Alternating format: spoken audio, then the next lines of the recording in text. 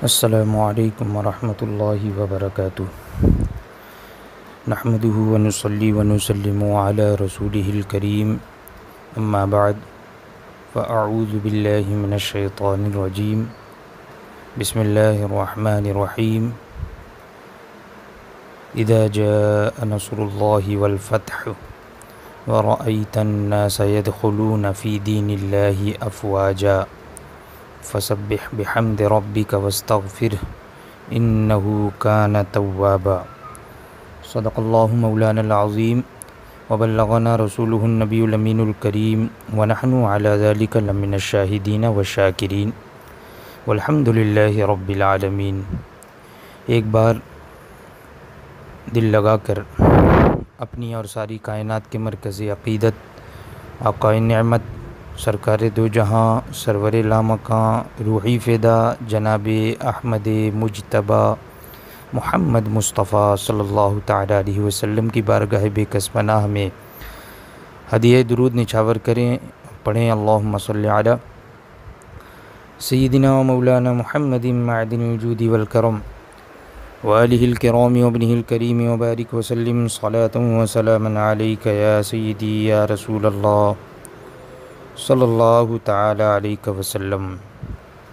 आज की ये मुबारक मसऊद शब, ये रमज़ान मुबारक के दूसरे अशरे की आखिरी शब, यानी बीसवीं शब है। और तारीख़ नबूत का नहायत अज़ीम शान रमज़ान मुबारक की आठ हिजरी है। और रमज़ान मुबारक की इसी तारीख़ में आठ हिजरी को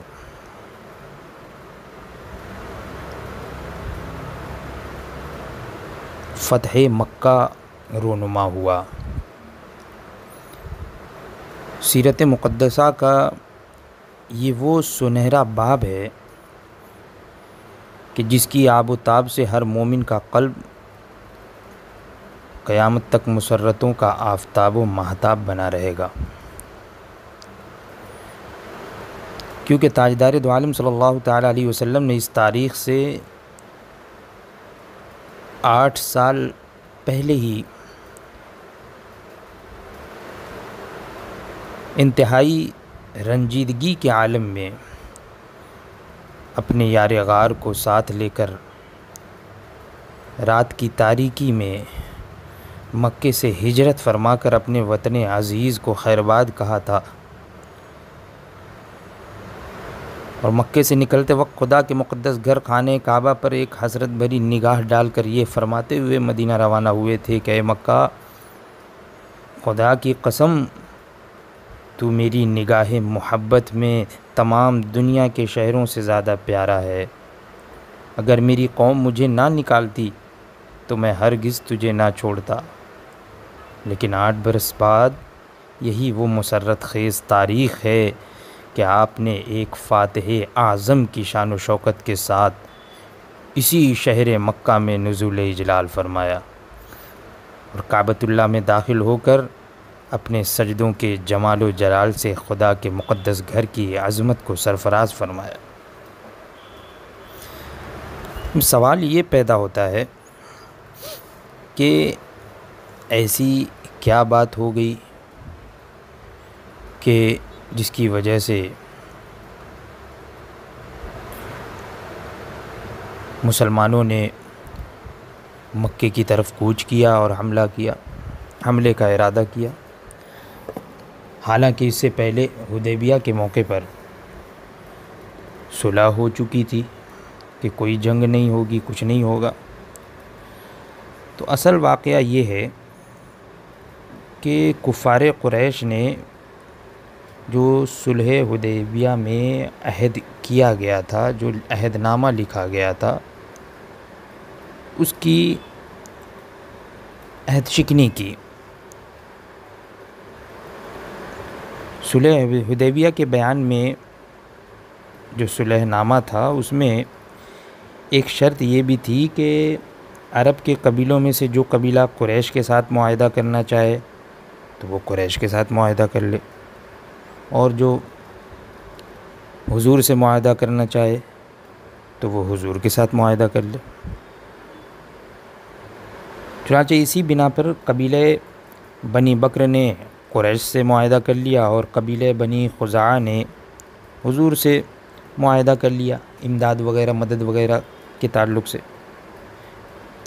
और ये दोनों कबीले जो थे, यानी बनी बकर और बनी खुजा, ये दोनों कबीले, ये मक्के के करीब ही करीब में आबाद थे, लेकिन इन दोनों में एक काफ़ी अरसे से सख्त दुश्मनी और मुखालफत चली आ रही थी, खून खराबा कत्ल गारत गिरी, दुश्मनी चली आ रही थी।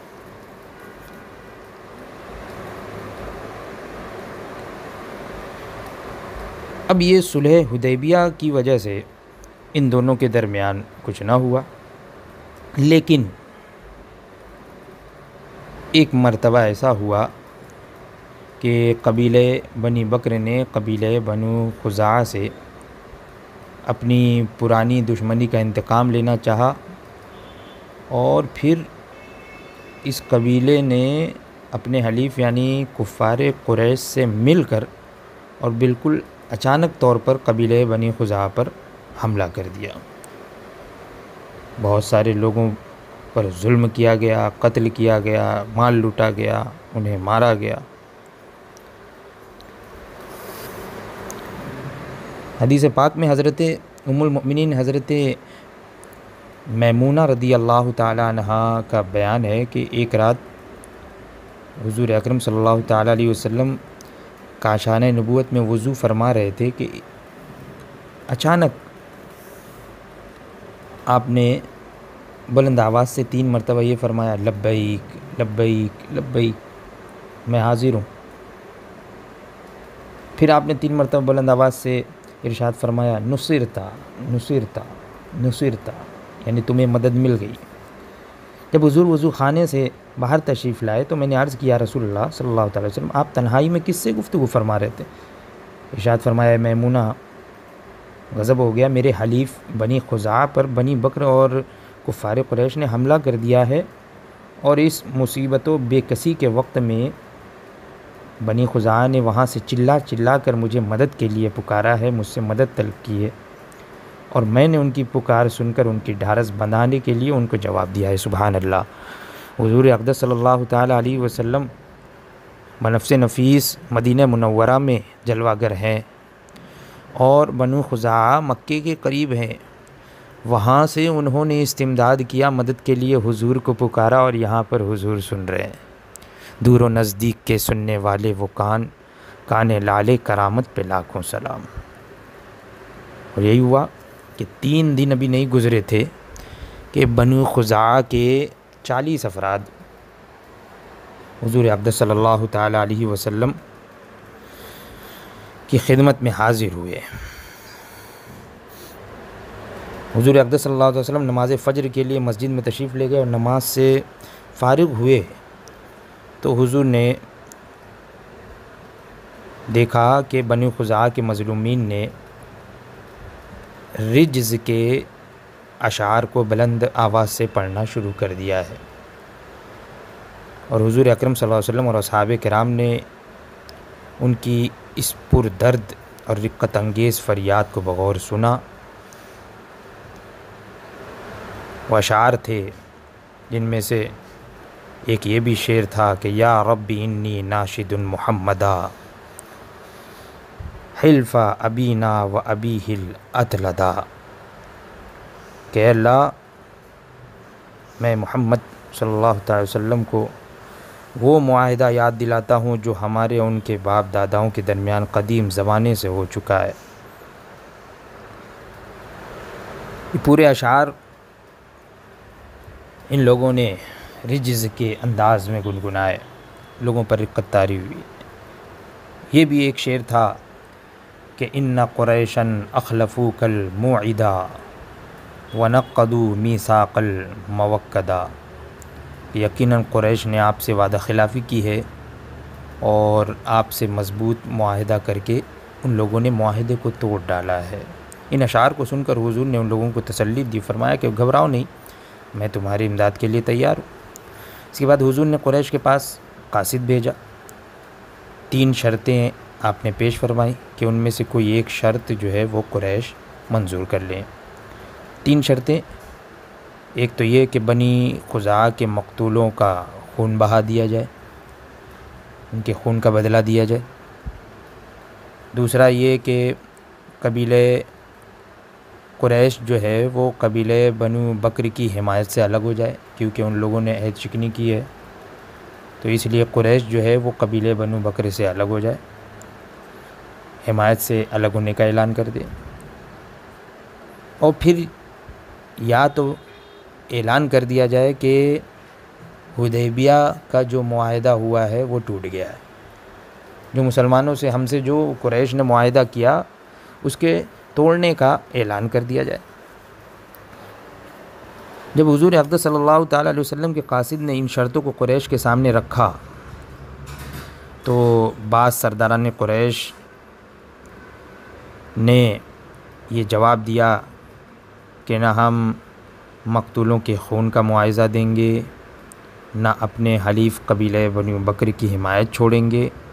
हाँ हमें तीसरी शर्त मंजूर है और हम ऐलान करते हैं कि हुदैबिया का माहा टूट गया।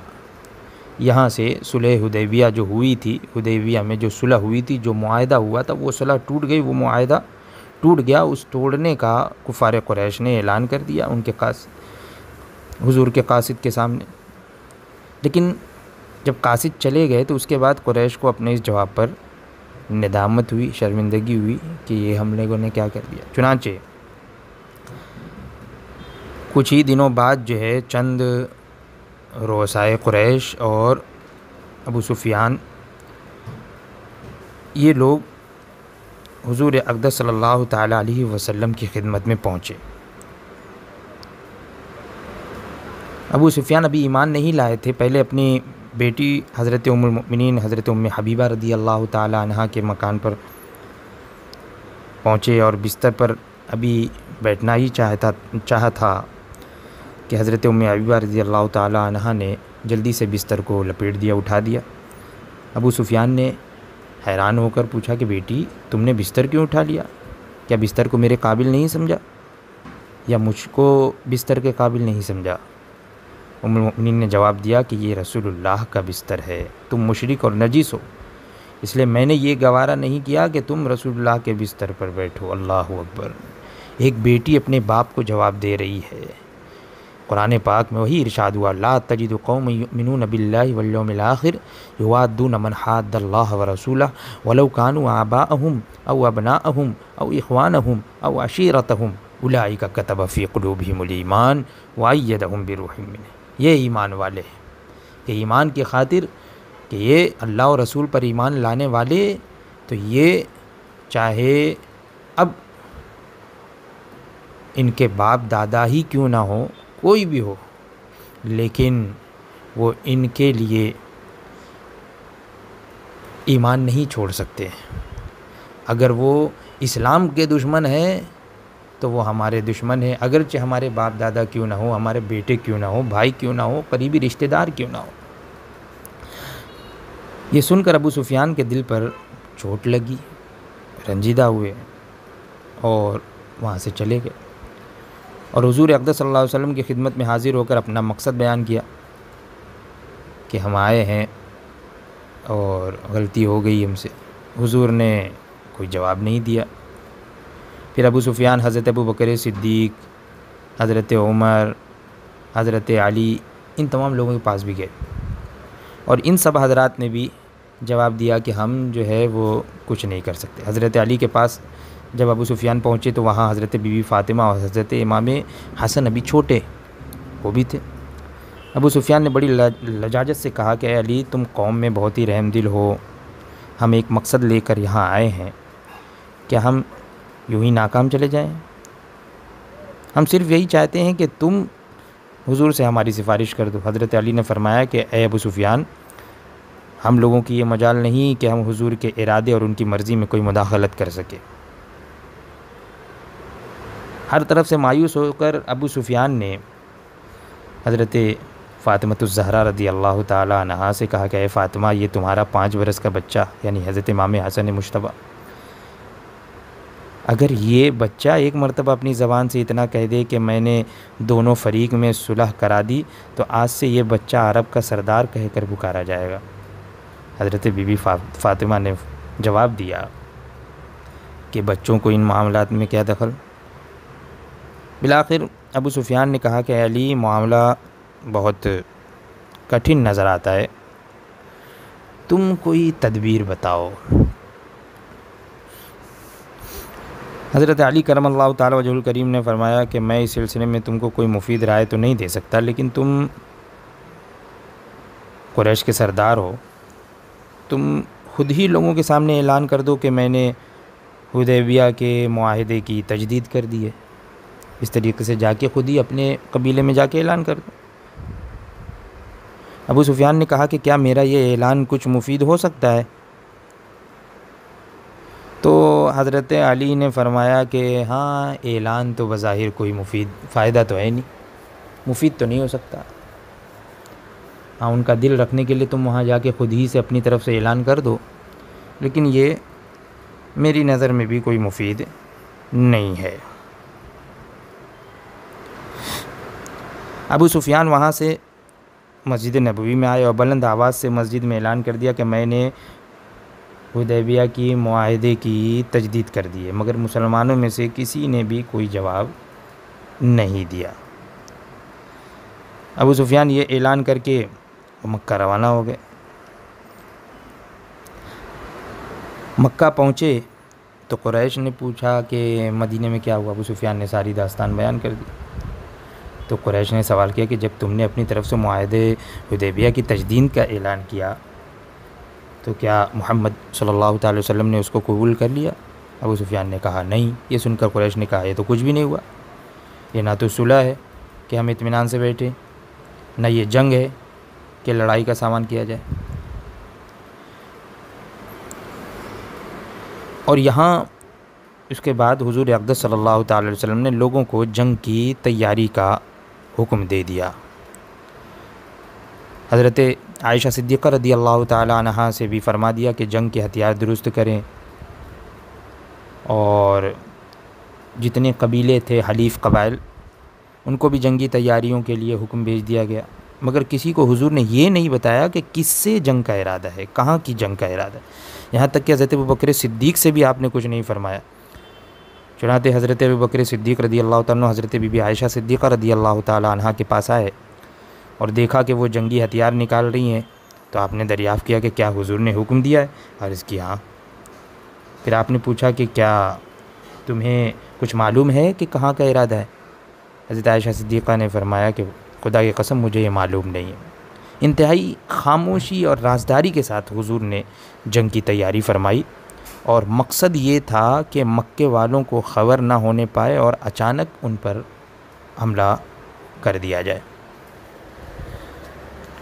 लेकिन सहाब कराम की जमात में एक सहाबी थे, हज़रत हातिब बिन अबी बलता रदी अल्लाह तु जो एक मुआज़ सहाबी थे। उन्होंने क़ुरैश को एक ख़त इस मज़मून का लिख दिया कि रसोल्ला अलैहि वसल्लम जंग की तैयारियाँ कर रहे हैं, लिहाजा तुम लोग होशियार हो जाओ।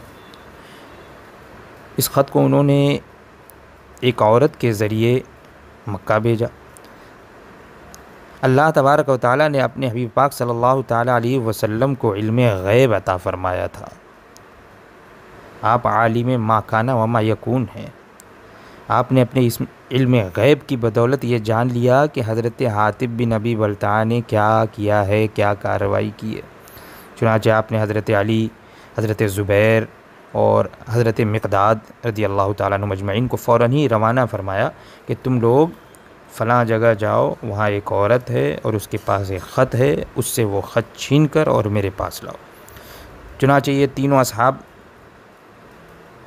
तेज़ रफ्तार घोड़ों पर सवार होकर उस जगह पहुँचे और उस औरत को भी पा लिया, जिसकी निशानदेही हजूर ने फरमाई थी। उससे ख़त मांगा उन लोगों ने तलब किया। तो उसने कहा कि मेरे पास कोई ख़त नहीं। हज़रत अली ने फरमाया कि खुदा की कसम, अल्लाह के रसूल कभी कोई झूठी बात नहीं कह सकते। ना हम लोग झूठे हैं। लिहाजा तू ख़त निकाल कर हमें दे दे, वरना हम तुझको नंगी करके तलाशी लें।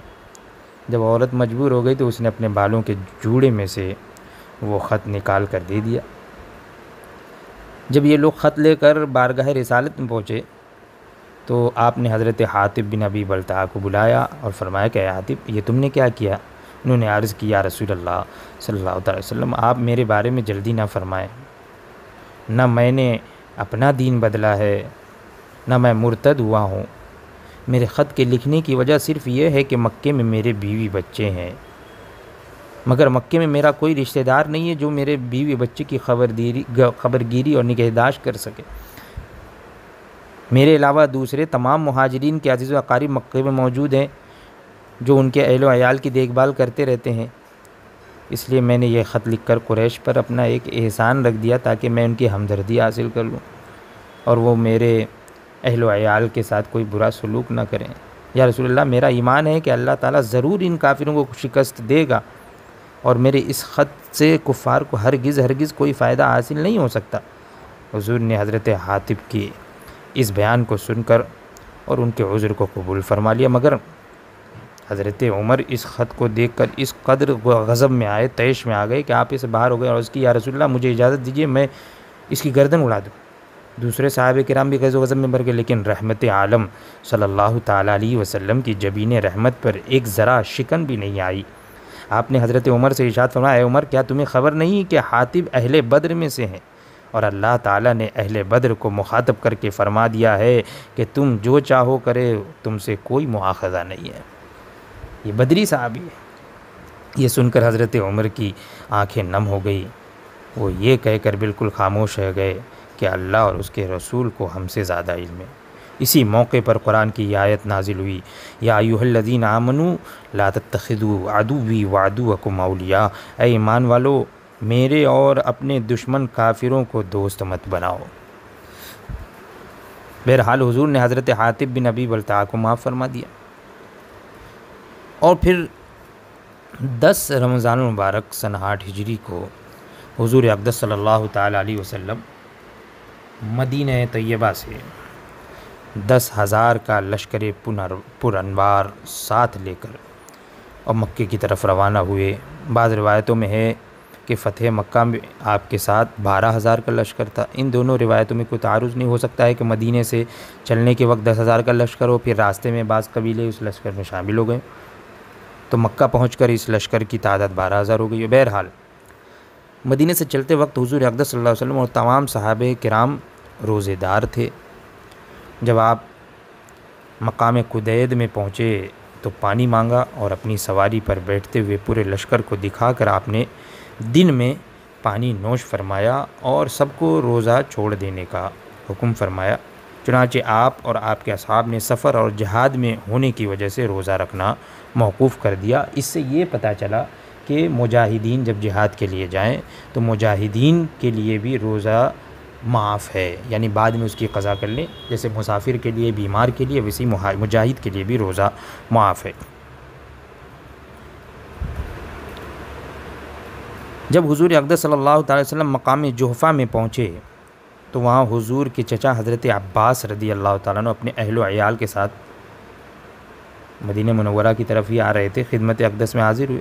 ये मुसलमान होकर आए थे, बल्कि इससे बहुत पहले वो मुसलमान हो चुके थे और हुजूर की मर्ज़ी से मक्के में मुकीम थे और हजाज कराम को जमज़म पिलाने के मुआज़ अहदे पर भी फायज थे।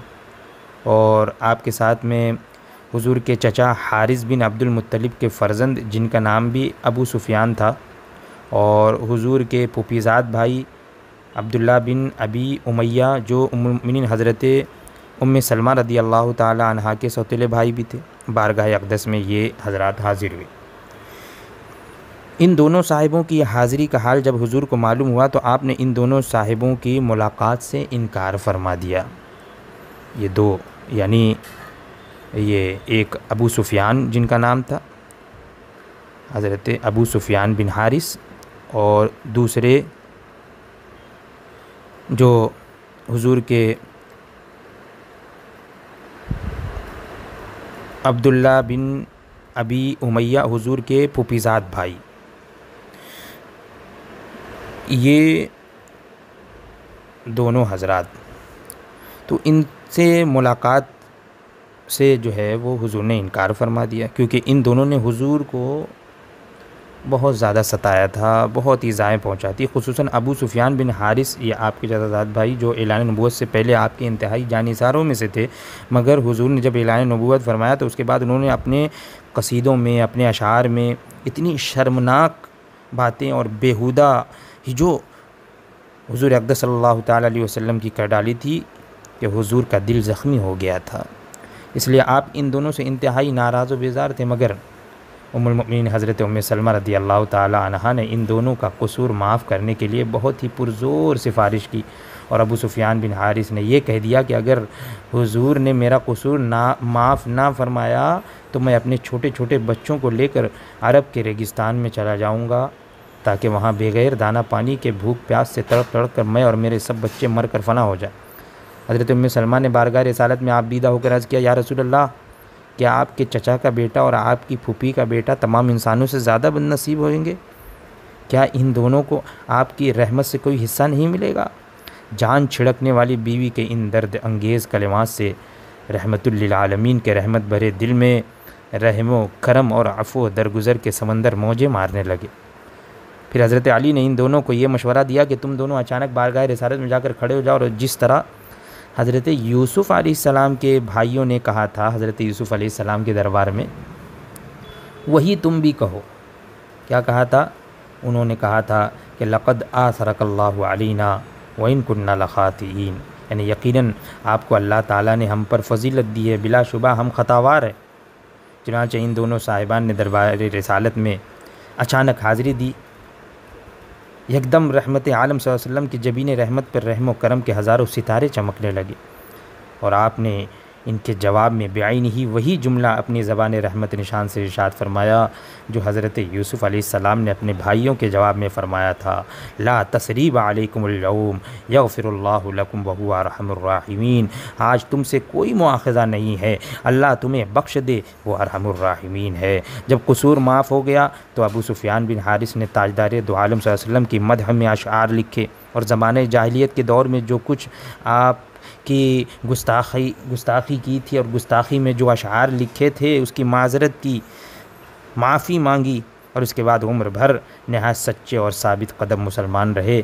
मगर हया की वजह से रसोल्ला सल्लल्लाहु अलैहि के सामने आपने कभी सर नहीं उठाया। हुजूर भी उनके साथ बहुत ज़्यादा मोहब्बत रखते थे। और फरमाया करते थे कि मुझे उम्मीद है कि अबू सुफियान बिन हारिस मेरे चचा हज़रत हमज़ा के कायम मकाम साबित होंगे सुबहान अल्लाह ये दूसरे अबू सुफियान हैं, वो अबू सुफियान नहीं, जो मक्के के सरदार थे, बल्कि ये अबू सुफियान बिन हारिस, ये हुजूर के चचाजाद भाई। मक्के से एक मंजिल के फ़ासले पर एक जगह है मर्र जहरान, वहाँ पहुँच इस्लामी लश्कर ने रात में पड़ाव डाला। हुजूर ने फ़ौज को हुक्म दिया कि हर मुजाहिद अपना अलग अलग चूल्हा जलाए। दस हज़ार मुजाहिदीन ने जो अलग अलग चूल्हे जलाए तो मर्र जहरान के पूरे मैदान में मीलों तक आग ही आग नज़र आने लगी। एक तरीक़े से हुजूर अकदस सल्लल्लाहु अलैहि वसल्लम यही चाहते थे कि मक्के वालों को पता ना चले कि हम इतने बड़े लश्कर के साथ वहाँ आ रहे हैं।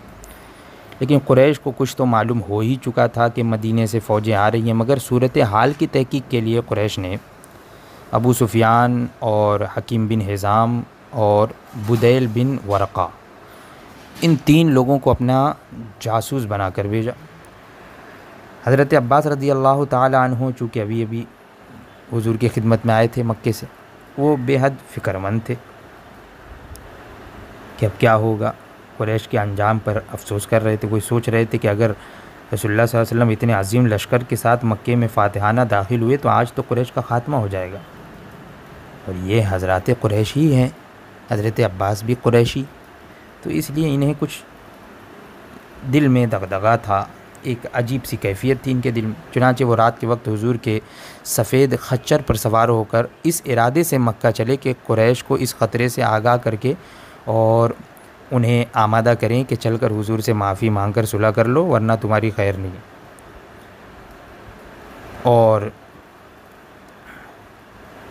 फिर जब हज़रत अब्बास चले तो हज़रत अब्बास की इन तीनों से मुलाकात हुई। ये तीन जो अबू सुफियान और हकीम बिन हिज़ाम और बुदैल बिन वरक़ा। तो अबू सुफियान ने पूछा कि, अब्बास, तुम कहाँ से आ रहे हो? ये आग कैसी है? आपने फरमाया कि, ये रसोल्ला वसल्लम के लश्कर की आग है। हज़रत अब्बास ने अबू सुफियान बिन हर्ब से कहा कि, तुम मेरे खच, खच्चर पर पीछे सवार हो जाओ, वरना अगर मुसलमानों ने तुम्हें देख लिया तो तुम्हें अभी कत्ल कर डालेंगे। और इस तरीके से ये तीनों हजरात को लेकर हुजूर के दरबार में हाज़िर हो गए और इन लोगों की जाबख्शी की सिफारिश पेश कर दी और ये कहा कि, या रसुल्ला मैंने इन सबों को अमान दे दी है, इसलिए इस पर कोई हमला न करे। अबू सुफियान की इस्लाम दुश्मनी कोई ढकी छुपी चीज़ नहीं थी। मक्के में रसूल करीम वसल्लम को सख्त से सख्त इज़ाएँ देनी, मदीने में बार बार हमला करना, कबाइल अरब को इश्तियाल दिलाकर हुजूर के कत्ल की बार बार साजिशें करना, यहूदियों और तमाम कुफ़ार अरब से साजबाज करके इस्लाम और बानी इस्लाम के खादमे की कोशिशें करना, ये मुआफ़ी के काबिल ये जुर्म नहीं थे जो बुकार पुकार कर कह रहे थे कि अबू सुफियान का कत्ल तो दुरुस्त और जायज़ है, बरमायल है। लेकिन रसूल करीम जिनको कुरान ने रऊफ़ और रहीम के लक़ब से याद किया है, उनकी रहमत चुमकार चुमकार कर अबू सुफियान के कान में कह रही थी कि, अरे मुजरिम, मत डर। ये दुनिया के सलातीन का दरबार नहीं, बल्कि रहमतुल्लिलालमीन का दरबार है। ये रहमतुल्लिलालमीन की बारगाह रहमत है। बुखारी शरीफ की रिवायत तो यही है कि अबू सुफियान बारगाह अकदस में हाज़िर हुए तो फ़ौर ही इस्लाम कबूल कर लिया और उनकी जान बख्श दी गई। और ये भी एक रिवायत में है कि हकीम बिन निज़ाम और बुदैल बिन ने भी फ़ौर रात ही में इस्लाम कबूल कर लिया, मगर अबू सुफियान ने सुबह को कलमा पढ़ा। बहरहाल, अबू सुफियान ईमान ले आए। मुजाहिदीन इस्लाम का लश्कर जब मक्की की तरफ़ बढ़ा तो हजूर अकदस सल्लल्लाहु अलैहि वसल्लम ने हज़रत अब्बास से फ़रमाया कि आप अबू सुफियान को किसी ऐसे मकाम पर खड़ा कर दें कि ये अफवाज इलाही का जलाल अपनी आँखों से देख ले। चुनाचे जहाँ रास्ता कुछ छोटा था, तंग था। एक बुलंद जगह पर हज़रत अब्बास रदी अल्लाह ताला ने अबू सुफियान को खड़ा कर दिया। थोड़ी देर के बाद इस्लामी लश्कर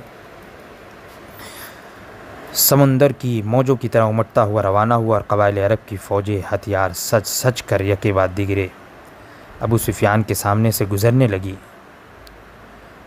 और अबू सुफियान ने सहम कर पूछा कि ये कौन लोग हैं? हज़रत अब्बास ने कहा, ये कबीले गफ़ार के शह सवार हैं।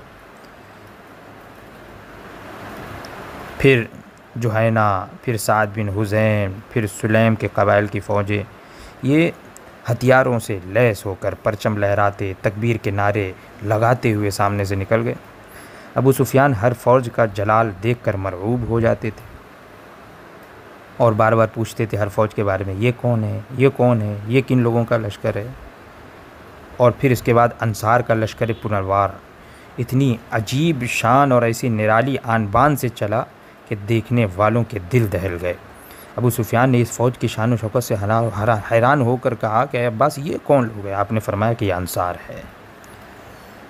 और फिर उसी में अंसारी सहाबी हज़रत साद बिन उबादा झंडा लिए हुए अबू सुफियान के करीब से गुज़रे।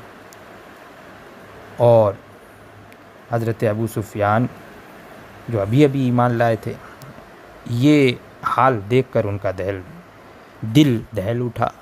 कि अब मक्के पर हमला हो जाएगा। सब मार दिए जाएँगे। ताजदार वालम सल्लल्लाहु अलैहि वसल्लम ने मक्के की सरजमीन में कदम रखते ही जो पहला फरमान जारी फरमाया, वो ये ऐलान था जिसके लफ्ज़ लफ्ज़ में रहमतों के दरिया मौजे मार रहे हैं। क्या ऐलान फरमाया? आपने फरमाया, जो शख्स हथियार डाल देगा, उसके लिए अमान है। जो शख्स अपना दरवाज़ा बंद कर लेगा, उसके लिए अमान है। जो काबे में दाखिल हो जाएगा, उसके लिए अमान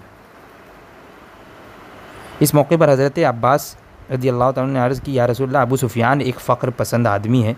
उसके लिए भी कोई ऐसी इम्तियाज़ी बात फरमा दीजिए कि उसका सर भी फ़ख्र से ऊँचा हो जाए। तो आपने फरमाया कि ठीक है, जो अबू सुफियान के घर में दाखिल हो जाए, उसके लिए भी अमान है। सुबहान अल्लाह ये रहमतुल्लिल की रहमतुल्लिल ही है। हुजूर के इस ऐलान रहमत निशान, यानी मुकम्मल अमन अमान का फरमान जारी कर देने के बाद एक कतरा खून बहने का कोई इम्कान ही नहीं था। हुजूर ने अमान दे दी। सबको अमान दे दी। और हुजूर जब फातहाना हैसियत से मक्के में दाखिल होने लगे तो आप अपनी ऊँटनी कस्बा पर सवार थे। एक सियाह रंग का इमामा बांधे हुए।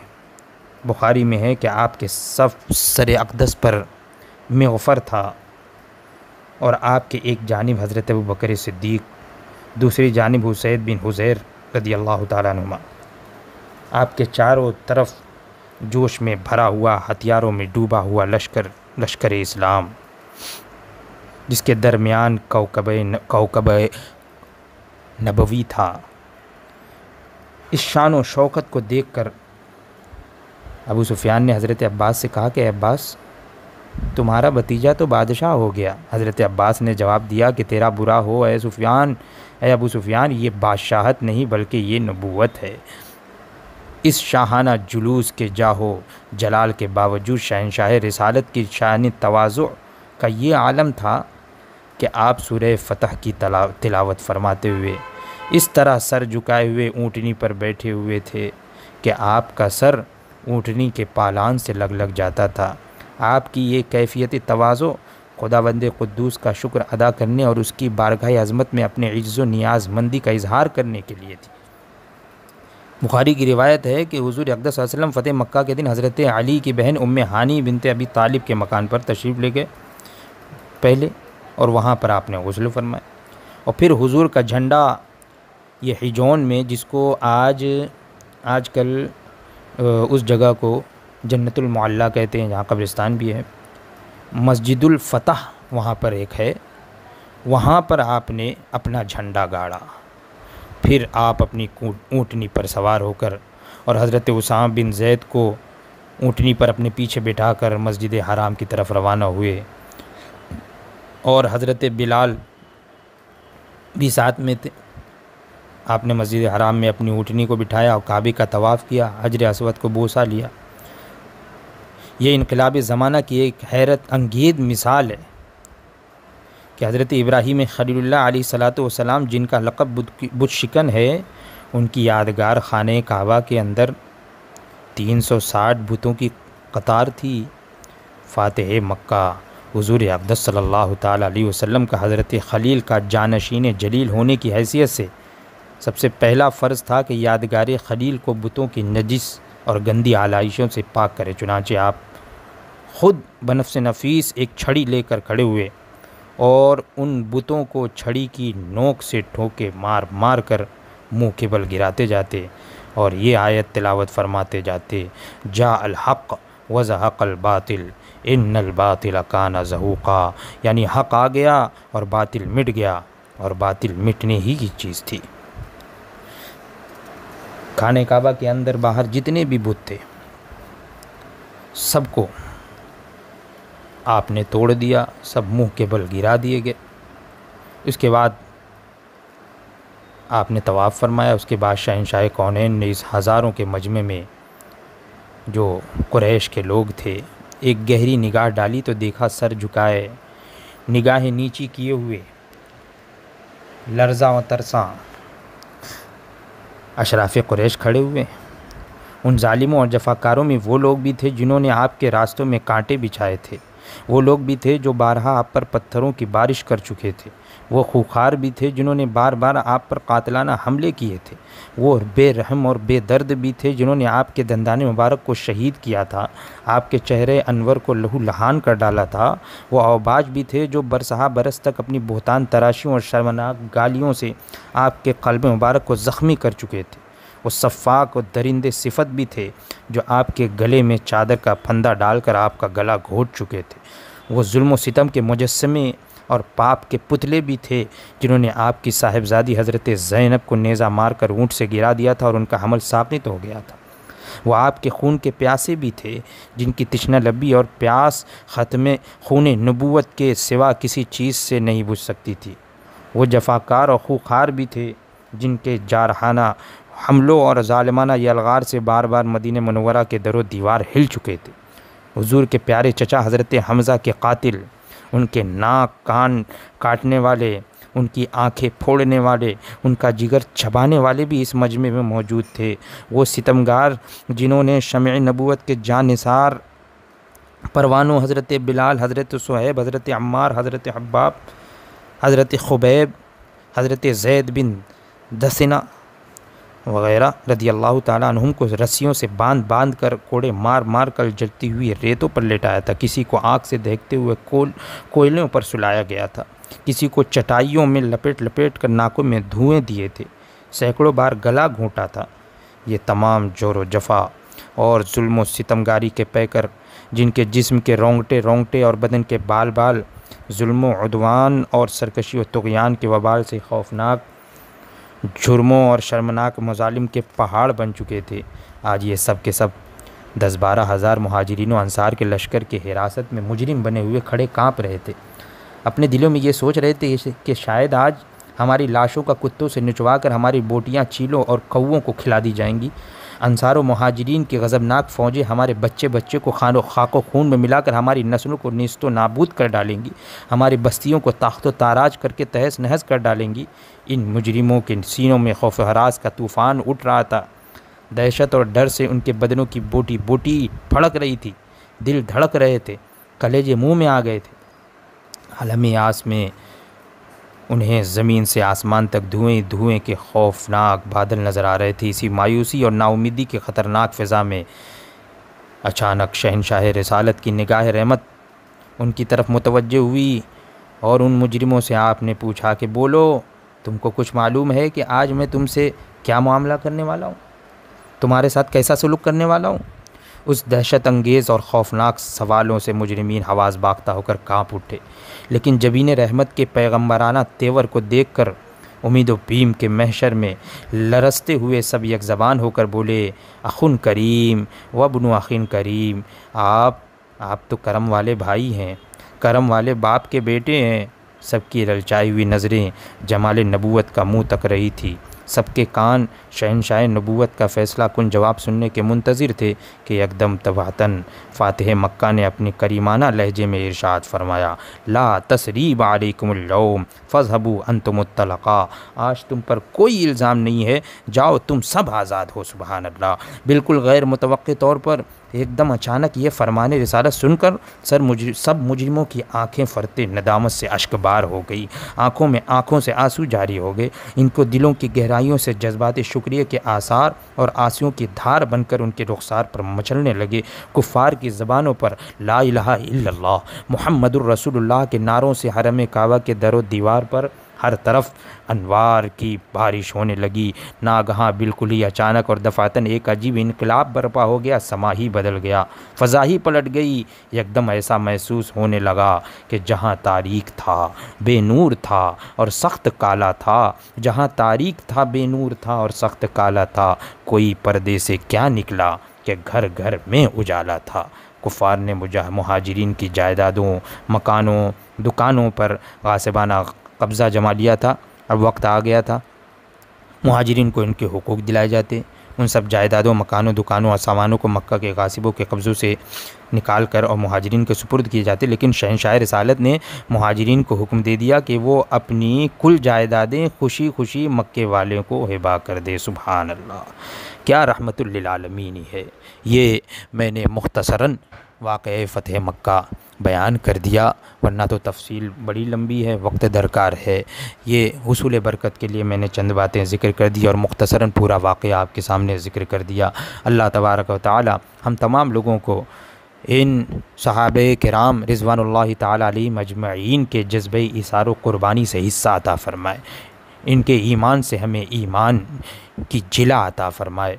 और हुजूर अक़दस सल्लल्लाहु अलैहि वसल्लम के नक्श कदम पर चलने की तोफ़ी अता फरमाए। हर तरह की आफ़ात बलियात से महफूज व मामून फरमाए खसूस ये मुबारक मसूद शब जिसे, जो, जिसे नस्बत है फ़तह मक्का से, या अल्लाह, इस मुबारक मसूद शब के सदक़े में और ये मगफ़रत का का आशरा है और ये आखिरी शब है, या अल्लाह। हम तमाम मुसलमानों की मगफ़रत फरमा। हर तरह की आफ़ात बलियात से महफूज व मामून फरमा खसूस जो बीमारी, ये मर्ज़, वबाई मर्ज़ जो फैला हुआ है, या अल्लाह, इस वबाई मर्ज़ से तमाम मुसलमानों की हिफाजत फरमा और जो इसमें मुबतला है, उन्हें शिफा कामिल आजिलाता फरमा। व आखिर दावाना अलहमदिल्ला रबालमीन अल्लाम वरहमल वर्का